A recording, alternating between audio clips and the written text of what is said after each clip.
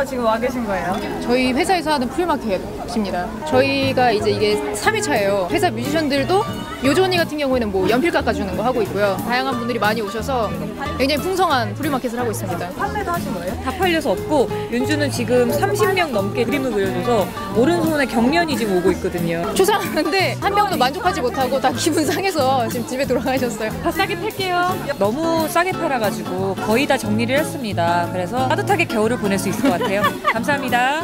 2,000원. 2,000원. 진짜 싸.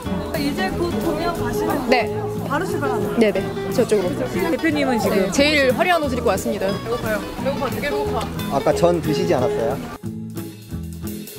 저희가 그냥 하나도 안 정했거든요. 굿바이, 굿바이로.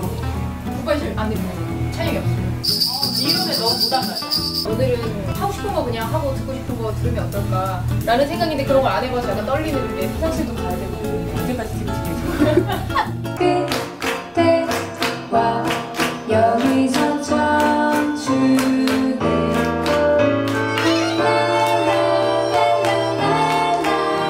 나오신 거 보셨나요? 네, 그 아이콘에 우리가 나왔다는 것 자체가 아이콘 정말 좋은 프로예요라는 분들이 되게 많았어요. 저희는 이렇게 막 쉽게 보일 수는 없잖아요. 아무래도 이제 좀 메이저에 계신 분들이 좀 더 많이 이런 채널을 많이 사용을 하니까 근데 인디 밴드가 수강달빛이 나오니까 되게 신기하고 좋다 이런 말들을 좀 많이 들었어요. 사진 하나만 찍으시면 저요. 돈 주고 사 먹었어요. 돈 주고 오, 어떻게 사진 찍자. 사진. 저 머리 너무 큰데?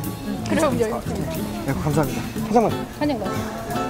이 친구에게 제가 팔다 나온 물건을 몰빵해 주기로 했는데요. 와. 어, 우선 들고 와요. 어울리나 이거 입어볼까? 이거 가을에 입어. 네. 무슨 무슨 성대모사? 무슨 성대모사? 성대모사 할 줄 모르는데? 노래 시키래 노래. 노래 시키래. 수고했어 오늘도 한 번만 불러주세요 그러면. 수고했어 오늘도 아무도 너의 슬픔에 관심 없대도 난늘 응원해 수고했어 오늘도 나보다 잘 부르는구만.